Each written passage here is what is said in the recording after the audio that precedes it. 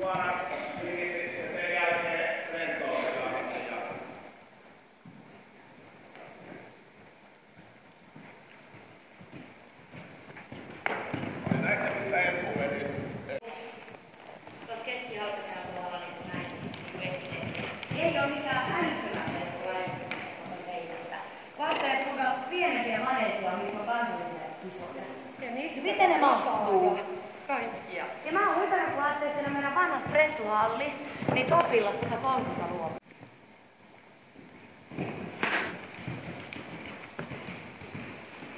Niin, mun mielestä vaan tuolla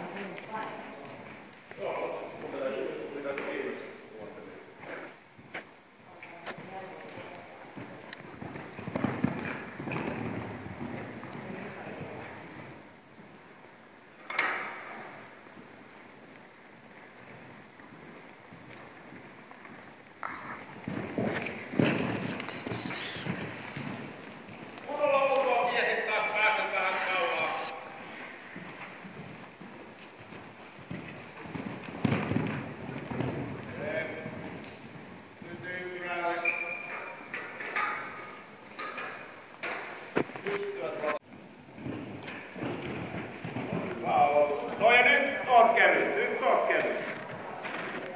Vähän voit nostaa ulko-ohjelmaa.